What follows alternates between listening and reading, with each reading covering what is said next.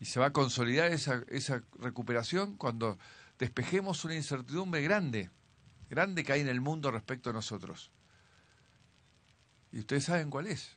Si vamos a volver atrás o vamos a terminar de cruzar el río y abrazar el futuro para siempre.